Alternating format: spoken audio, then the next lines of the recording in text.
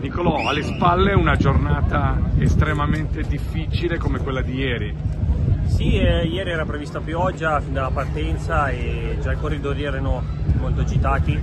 ci sono stati un po' di inconvenienti, e dopo qualche chilometro piccolo cane è entrato nel gruppo e tra l'altro in un momento dove si andava molto veloce, i corridori hanno iniziato a frenare stata una caduta già in partenza. Tu hai rischiato Nicolò, hai avuto eh, dei momenti di... Fortunatamente che hai ho visto il cane entrare nel gruppo e pensavo veramente che entrasse dentro, invece poi si è subito scansato, quindi sono state solo delle scivolate. E poi nel finale, ecco, 5 km, un'altra grande caduta, sono rimasto nel mio caso molto indietro e c'è stata un'altra caduta a 3 km con questo asfalto molto scivoloso questi freni a disco appena sfiori un po' vai.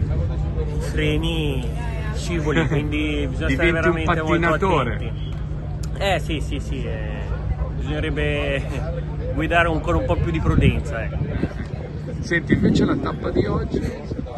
Oggi è una tappa che sembra molto semplice ma in realtà è molto molto difficile sono, le, la strada è molto tortuosa c'è questo colle all'inizio e magari può arrivare la fuga, magari la volata e dipende un po' come si svegliano le squadre per, per controllare la corsa.